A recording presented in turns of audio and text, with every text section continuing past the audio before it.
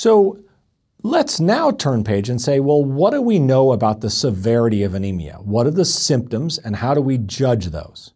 Well, the signs and symptoms of anemia include decreased energy, fatigue, poor appetite, headaches, dizziness, palpitations, shortness of breath, lethargy, and eventually unconsciousness. And this is about the order in which things will present if anemia is continually worsening and not checked. So it'll start with a decreased energy and fatigue and end with unconsciousness.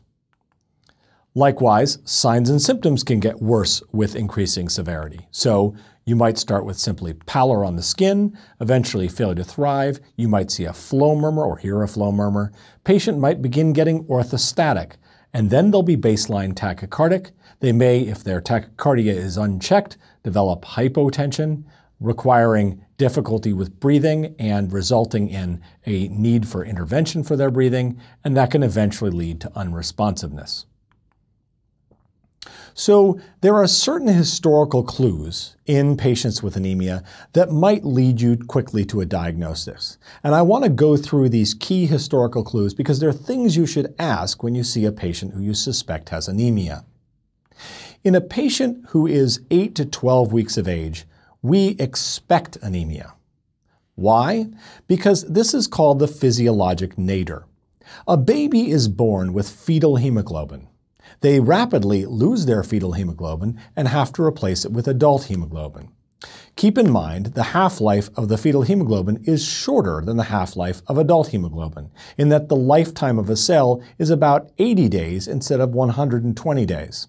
As a result, the patient around 8 to 12 weeks of age starts losing that fetal hemoglobin, and then the adult hemoglobin starts rising up, and that leads a little dip point when children this age typically have low hemoglobins, around 9, 10, 11.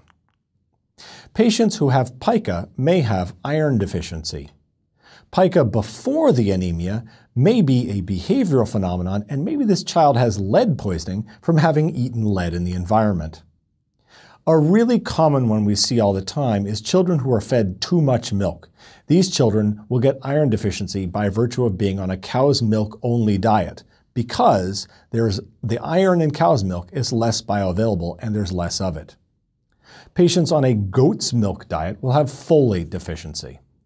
Patients with weight loss, maybe they don't have a nutritional deficiency, although they might, maybe they have a systemic illness that's driving that weight loss. For instance, a patient with Crohn's disease may have antecedent weight loss for a few months beforehand and present with a normocytic anemia because of general dysplastic or rather suppression of the bone marrow that's happening inside the bone marrow from just the being inflamed. Additionally, of course, we're going to ask about lead environment in any patient we're worried about anemia because of the prevalence of lead poisoning in the United States. So, when we see a patient with anemia, we think in these boxes of increased destruction and decreased production and active bleeding.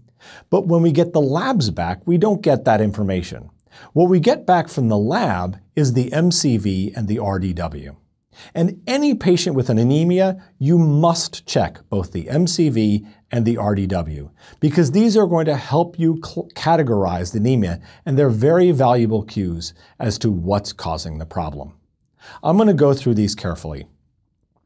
In microcytic anemia, which is an MCV of less than 70, the leading causes are iron deficiency and lead poisoning. These two things you must know. They'll definitely be on a test.